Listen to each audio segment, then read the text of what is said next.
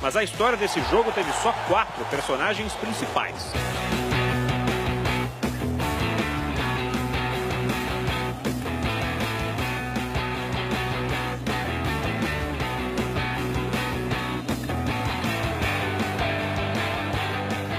Primeiro, Fábio Luiz Carilli de Araújo, o comandante do time que encurralou seu adversário quase o jogo todo.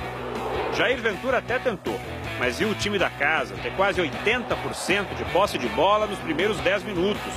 Faltavam chances mais claras de gol. Dá mais trabalho ao até então pouco aquecido Roberto Júnior Fernandes Torres, o Gatito Fernandes. Isso aconteceu no segundo tempo, quando Carilli trocou Gabriel pelo seu meio xará Marquinhos Gabriel. E começou o show do Paraguai. Gatito! Tocou no meio, Rodriguinho! Gatito! Escanteio. Olha o Rodriguinho. Pé esquerdo bateu pro gol. Gatito de novo. Aos sete minutos, pênalti. Ou quase isso. Pênalti! Foi fora da área. O pé dele tá fora da área. E o Rodolfo Costa estava muito perto do lance. Bem ou mal marcado, não entrou nem o rebote. Partiu, Jô, bateu. Gatito Fernandes duas vezes salva o Botafogo. Não conhecia muito a forma de, de bater dele, mas tinha algumas informações e, graças a Deus, escolhi o canto certo. Não que seja uma informação assim, sigilosa. Eu sempre bato naquele canto, só não bati muito forte como sou acostumado a bater. Né? Bati fraco, e ele acabou adivinhando e pegando. João Alves de Assis Silva. Jô é o terceiro protagonista da história. Mas o que seria dos atores principais sem o elenco? E o do Corinthians não desistiu. A situação que a gente dá aqui, aqui jogando aqui, que enquanto eles não fazem o gol, eles não sossegam, né? Gatito Fernandes fez o que pôde. O goleiro do Botafogo vinha sendo o grande destaque da partida. Ele só não poderia contar com um fato novo do Corinthians, um fato bem novo. 19 anos, uns 19 segundos em campo. E que é um jogador que tem um potencial enorme. Cobrança para a área. Bola vai voltar exatamente no Pedrinho. Dominou, levou, tentou o chapéu. Pedrinho. Que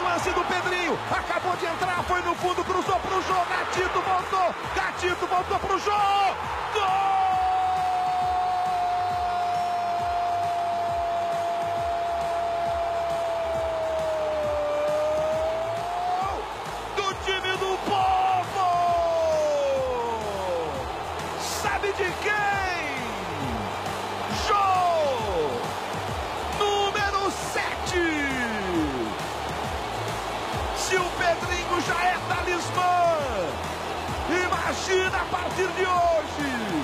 O menino entrou, fez esse salseiro na defesa do Botafogo! E Pedro Vitor Delmino da Silva. O Pedrinho narrou assim sua própria obra. É, eu entrei, já fui direto para fora da área ali. A bola saiu, eu dominei no peito. Eu vi que o time deles estavam todos saindo, eu dei meio com um chapéu. Pude ganhar na, no corpo ali do cara, toquei para trás. O Jô chutou, o Rodriguinho chutou e graças a Deus saiu o gol. Ficou ali empurrando para sair gol, né? Uma jogada dessa tem que sair gol, né? Pô, eu pensei, se não sair gol agora, meu Deus, mas graças a Deus, Deus correu com o gol. Jogos de muito choque ainda não é para ele, temos que preparar. Temos que ter paciência, penso em tudo. Eu sei que hoje o time está organizado e é mais fácil para o Pedrinho isso.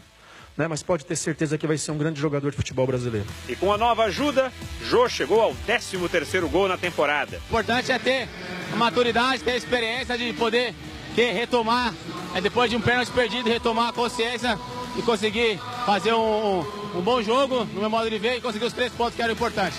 Nona vitória em 11 rodadas, 25 jogos de invencibilidade, quinto 1 a 0 do líder cada vez mais disparado desse Brasileirão. Falei muito de equilíbrio, a equipe está ainda buscando esse equilíbrio e é nosso trabalho de fazer essa equipe se defender, continuar defendendo bem e chegar cada vez com mais perigo no gol adversário. Caio Ribeiro, qual que é o